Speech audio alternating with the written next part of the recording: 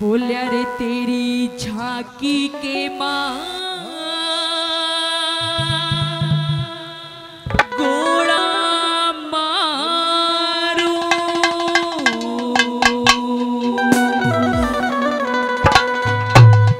मैं बाट गोपियाँ सड़का।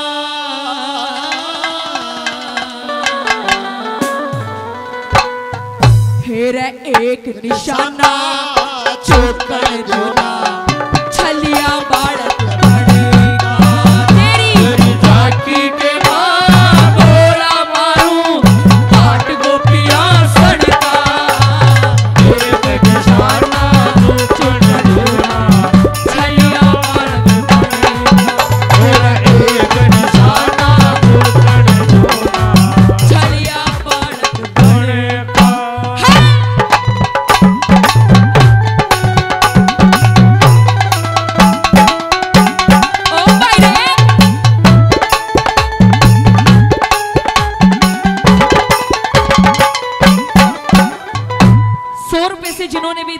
सौ मान सम्मान किया।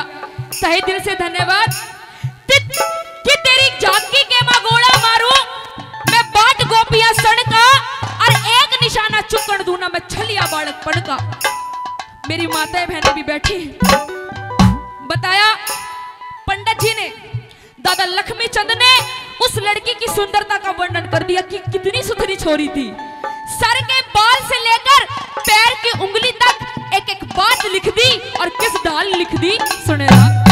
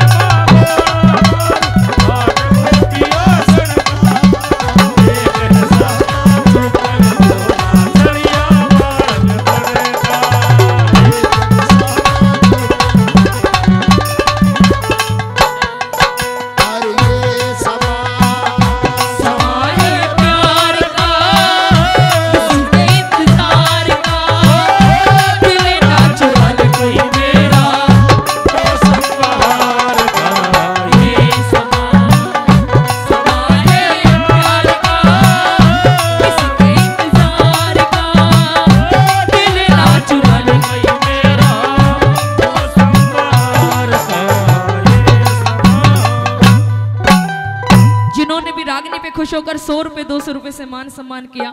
तहे दिल से धन्यवाद। प्रेमी सजनों, नंबर दूसरी कली में पंडित जी अपने मन में विचार करने लग गए। अपने संगीतकारों से बात करने लग गए। कि रे मैं जगह जगह जाकर सांग करता हूँ। प्रोग्राम को दिखाता हूँ, बैठ जा रे। जगह जगह जाकर सांग करता हूँ।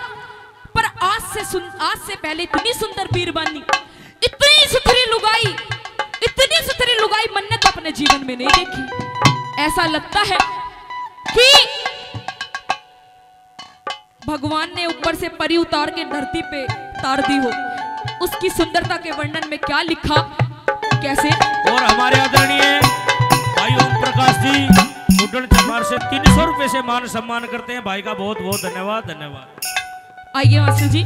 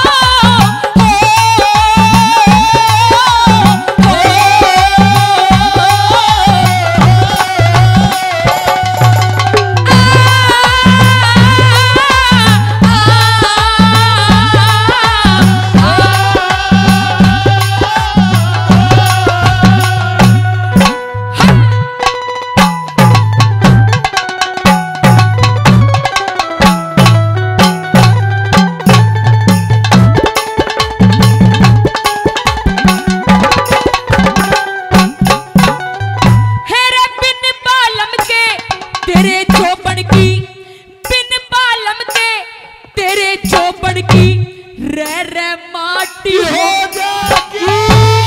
किते की, सोचेगी ते गात उचाटी हो जागी मेरी गलिया, चाल पड़ी मेरी, राज़ी जाटी हो जागी इज़्ज़त हो तेरी तबीयत खाटी हो जागी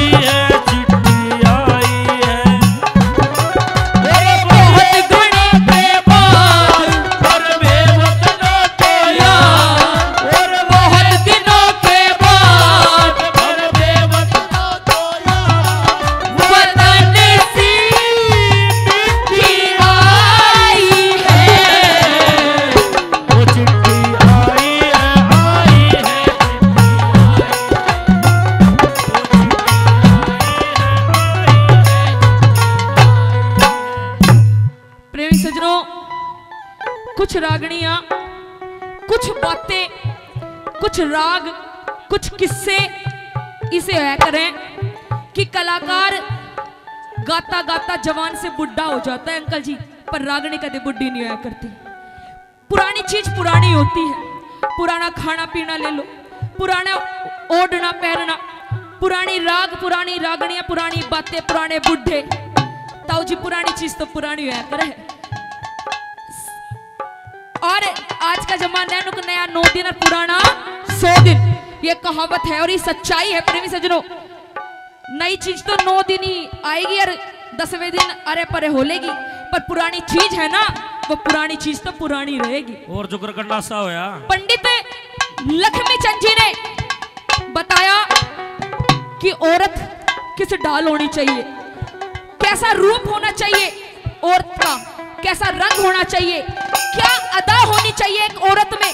क्या नूर होना चाहिए औरत में? आखिरी और अंतिम कली में, चौथी कली में दादा ने निचोड़ कर दिया। और के लिखा औरत के बारे में?